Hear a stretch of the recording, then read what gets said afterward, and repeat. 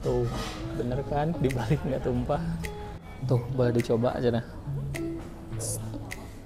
Kelihatan nggak? Malah sayanya yang takut nih. Beneran loh, emang sekentol ini. Lihat. Assalamualaikum warahmatullahi wabarakatuh. Terima kasih sudah klik video ini. Saya Yudi Barreto. Di video kali ini saya mau nyobain sarapan di bubur Mang Oyo. Nah, bubur Mang Oyo ini sudah legend. Udah mau setengah abad ya, udah 48 tahun. Dan uh, ini tuh menarik karena bubur bubur Mang Oyo ini kalau dibalik itu tetap oyonya ini ya. oyo dibalik oyo. Dibalik tidak tumpah cenah seperti itu. Oke, seperti apa buburnya langsung aja kita masuk ke dalam. Tapi sebelumnya buat teman-teman yang baru menemukan saya di channel YouTube ini, saya mohon dukungannya untuk subscribe dulu supaya channel ini semakin berkembang dan jangan lupa juga aktifkan lonceng notifikasinya. Yuk.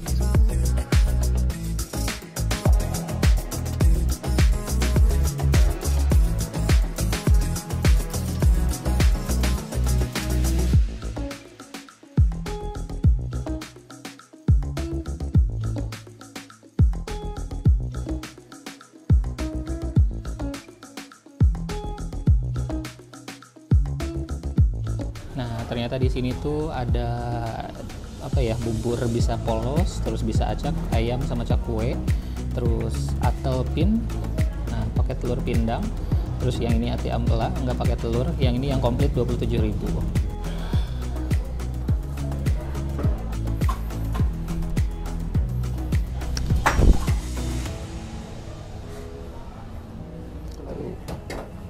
Ini buburnya dibalik tidak tumpah cina.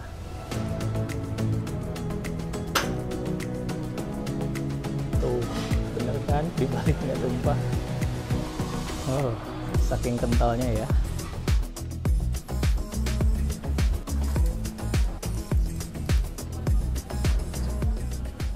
Coba ya. Boleh. Langsung.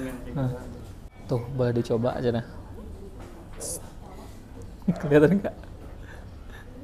Malah sayanya yang takut nih. Beneran loh. Emang sekentol ini. Lihat. Sok.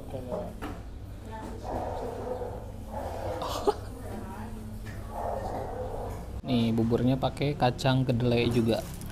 Ini option ya. Kalau nggak suka ya nggak apa-apa. Beda sama bubur yang ada di Tasik. Kalau di Tasik kan biasanya pakai bawang daun ya.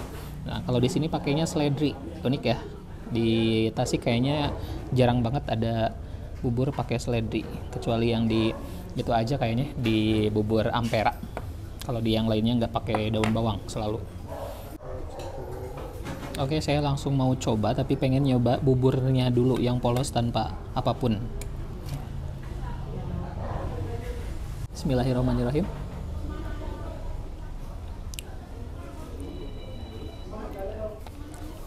Buburnya super kental dan juga rasanya asin gurih tapi yang nggak gurih banget juga.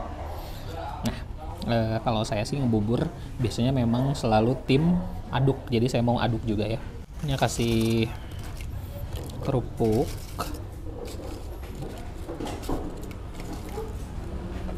Lalu dikasih kecap.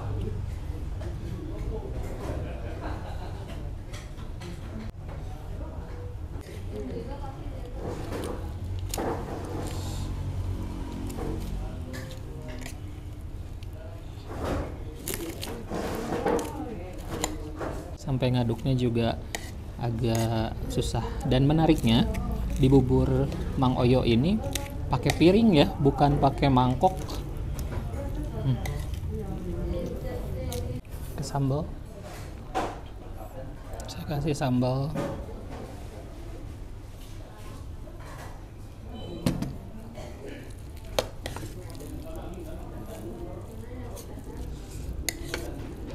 Wah Hmm. Hmm.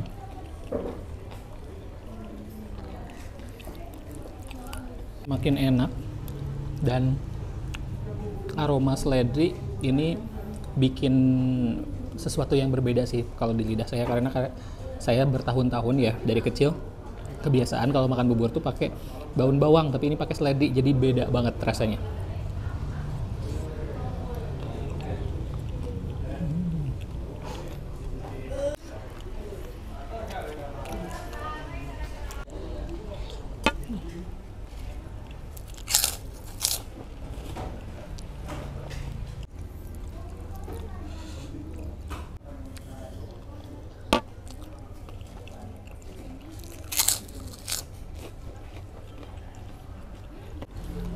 Satu kali lagi. Hmm. Oke guys, sekarang saya sudah selesai makan di bubur Mang Oyo ini unik sekali kalau buat saya. Harganya juga 23.000 itu udah dapet uh, satu porsi bubur yang cukup mengenyangkan. Dan buat teman-teman yang nggak mau makan bubur bisa pilih menu-menu yang lainnya karena di sini bukan cuma ada bubur. Tempatnya nyaman, terus ini ada di pusat kota Bandung juga. Jadi langsung aja kalau ke Bandung cobain bubur Mang Oyo. Terima kasih sudah nonton video ini sampai selesai. Jangan lupa untuk subscribe, like, dan komen dan juga follow akun Instagram saya Yudi Bareto underscore. Sampai jumpa di video-video berikutnya.